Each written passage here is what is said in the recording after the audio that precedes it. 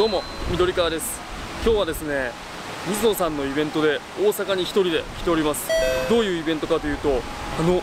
大物メジャーリーガーとキャッチボールできるという夢の企画になっているんです。それでは早速行ってきます。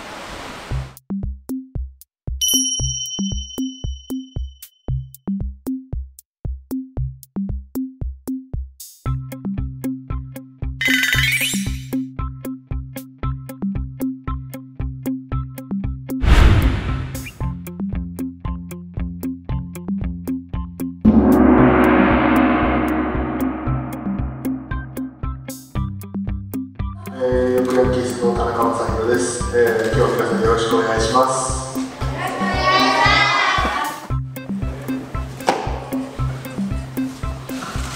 あ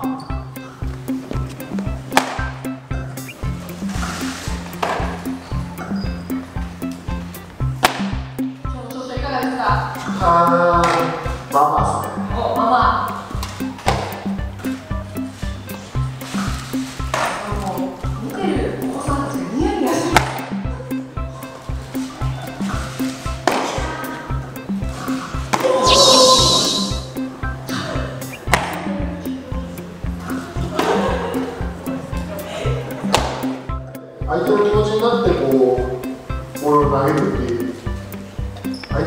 考えてボールを投げるっていうことが大事かなと思いますなんでかというと結局ねやっぱりこの胸周り胸の近くに投げてあげた方が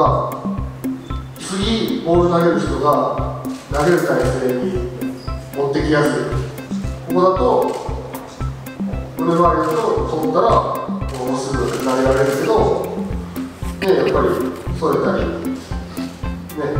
こういうとこ投げると、そこから体動かすこう動作も大きくないと投げられないから、そして体勢もやっぱり悪いからバランスも崩しやすくて、次の送球がやっぱり悪くなりやすくなっちゃうから、やっぱ基本的には、その胸周りにしっかり投げ投げてあげることが大事かなというふうに思います。おおですね。すごい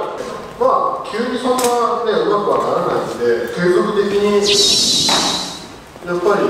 やるっていうことが上手になる秘訣じゃないかなと壁当てとかめちゃくちゃやってましたね。はい。でも投げる投げることが本当好きでもう一人でひたすら、まあ、弟弟と一緒に行ったりもしましたけど、まあ、壁当てしまくってましたね。一人三球ずつ田中投手とキはい。ャッチボールをしていただきます。えー、いいね。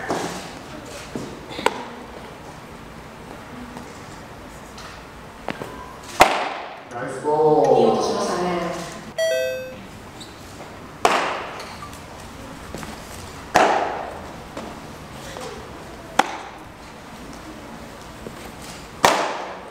なかなかね、田中投手に会えることはないので、皆さん。何か田中投手に聞いてみたいことがある人、手が、お、すごい手が上がります。ちょっとどうしましょう。全部全部ございます。本当ですか。じゃあ、じゃあ手挙げた順番に行きましょうか。はいあ、身長身長は188センチです。まあでも常に上手くなりたいっていう持ち。思い続けることが大事かなというふうに思います。あ、僕はね、えっ、と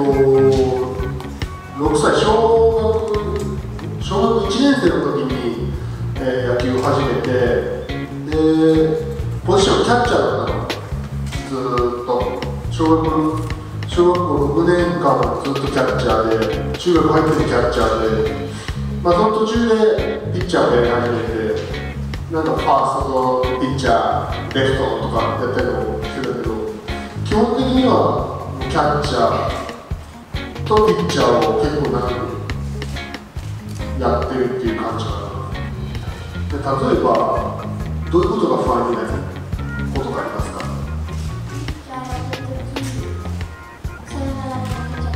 あでそういう場面になった時に、えー不安になるとかっていうことじゃあそこでサヨナラ負けにあどうしよう打たれたらサヨナラ負けになっちゃうっていうふうになるんじゃなくてあでもそういう場面だけどじゃあどうやって相手のバッターを抑えるサヨナラ負け絶対なりたくない。でしょ勝ちたいでしょだからその時にどうやったら勝てるかどうやったら相手を抑えられるかっていうのを考えることでその不安ってい。うのは打ち消されてい。くとその目の前自分が今置かれている状況で何をするべきなのかそれを最優先で考えればそういう不安というのは取り除かれていくかなと思います。僕はさっきも言ったようにとにかく投げるのが好きで、まあ、一日にねあのたくさん投げたら体にいいことはないと思うのでまあいい加減が必要ですけどとにかく投げてなおかついい指導者に巡り合って、うん、いい投げ方正しい投げ方っていう、ね、その自分に合った投げ方っていうものを見つけていって速いボール投げたいと思う色をずっと持ち続けて練習していけば速い球が投げられるようになっていくんじゃないかなというふうに思います。全然調子で毎日いいわけじゃないんだよね僕たち。あのー、調子が悪い日がほとんど。いいいい悪いとかいい日ではないのでまあまあぐらいたくさんあるでもその中でやっぱりいい選手たちは調子が悪いっていうのを見せないよねだからどういう調子の日でもあ調子が悪いから今日はダメだと思うんじゃなくてその中で自分のベストを尽くそうその中で自分が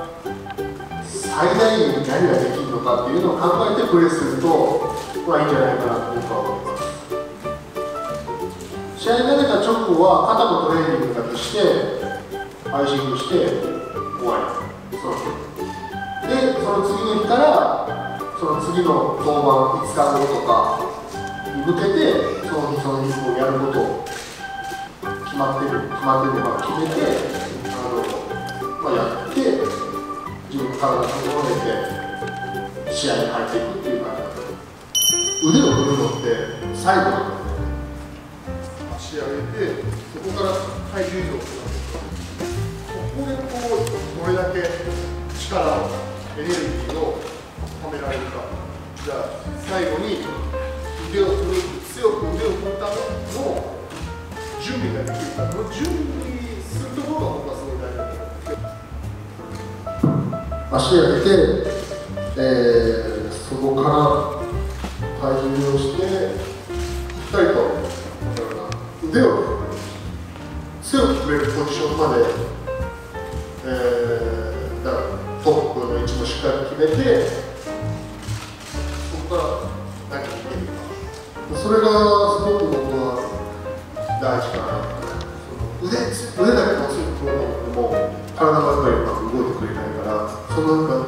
か腕を強く振るための準備をしっかり意識して投げれば、まあ、投げられるしかでもそんなにめちゃくちゃご飯食べる子ではなかったかなっていうこうどんなこう食事こう出されても嫌いなもの嫌な嫌だなと思うものがあっても一度だけは一口は絶対食べなさいみたいなそういう教えがあって、うん、だからそういうなんかバランスのいい食事っていうのは、うん、そういう時子供ながら、うん、まあ、とってたかなと思います、ちなみに何が嫌いだったんですか？えー今でもなんですけどトマトはちょっと苦手ですね。田中投手か。らみんなに今日プレゼントがあるというふうに考えておりますが、サイボールを。はわあみんなにみんなあといみんなの名前入れてはい書かせていただきました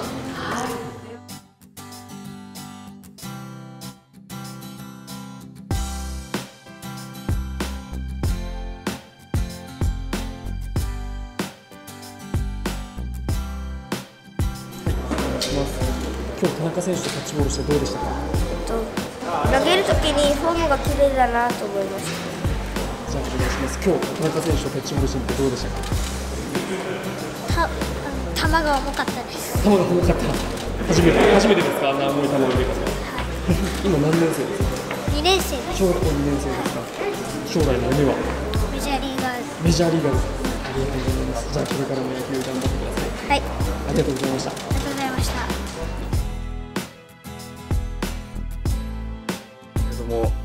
もうただただ田中選手とキャッチボールできる小学生たちが羨ましくてしょうがなかったです。あと一番印象に残っているのが子供たちからの質問コーナーだったんですけど田中選手がすごい、うん紳士というか真面目に